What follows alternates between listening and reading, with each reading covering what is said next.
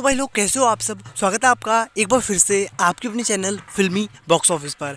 ऐसे में बात करेंगे, हाल फ़िलहाल रिलीज़ हुई फ़िल्म विल्ले को लेकर। विल्ले जो कि एक कॉमेडी क्राइम ड्रामा फ़िल्म है, आपको मिस्ट्री भी इसमें देखने को मिल जाने वाली है। फिर बात करें फ़िल्म को लेकर तो फ़िल्म में इंपॉर्टेंट रोल्स में नज़र आ रहे हैं सनी देवल के बेटे करण देवल अभय देवल आन्या सिंह और मोनी रॉय। इसको डायरेक्शन दी है देवेन मुंजल ने।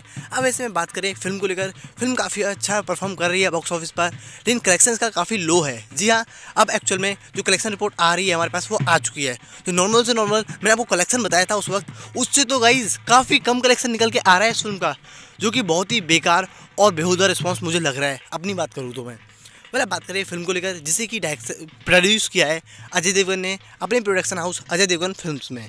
और जिसका बजट निकल के आ रहा है एक्चुअल में, हाल फ़िलहाल की अपडेट के मुताबिक, वो है महज दस करोड़ रुपए। अब कलेक्शन की बात आती है तो आपको बता दूँ इस फ़िल्म ने अपने पहले शुरुआती दो दिनों में जो कलेक्शन किया है बॉक्स ऑफ़िस से वर्ल्ड वाइड वो है गाइज़ महज तीन करोड़ रुपए बस। इससे ज़्यादा इस फ़िल्म का कलेक्शन नहीं आया पहले शुरुआती दो दिनों के अंदर अंदर अब बात की जाए, यानी कि आज के तीसरे दिन के कलेक्शन को लेकर जैसा कि आपको पता है, आज है नॉन वर्किंग डे संडे यानी कि आज थिएटर्स खुले हैं ऑक्यूपेंसी काफ़ी अच्छी देखी जा रही है मॉर्निंग शोज़ काफ़ी अच्छे चल रहे हैं। और सही बताऊँ तो आज थोड़ा सा रिस्पॉन्स ज़्यादा मिल रहा है comparison to Friday and Saturday कहने का मतलब ये है, आज टोटली ग्रोथ देखने को मिलने वाली है कलेक्शन में। और ये फ़िल्म आज कम से कम दो करोड़ तक का कलेक्शन कर सकती है आसानी से वर्ल्ड वाइड बॉक्स ऑफ़िस से। जिसके बाद जो इसका कलेक्शन हो चुका होगा वो हो गया होगा भाई साहब कम से कम पाँच करोड़ या साढ़े पाँच करोड़ रुपए ज़्यादा से ज़्यादा।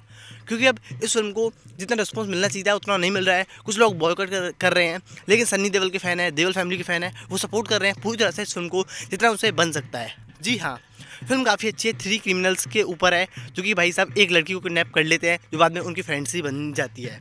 और बाद में कुछ ऐसा ट्विस्ट आता है कि कहानी पलट जाती है पूरी की पूरी, और वहीं से आपको इंटरेस्ट आना शुरू हो जाएगा, और आप भी बोलोगे, यार, ये क्या हो गया?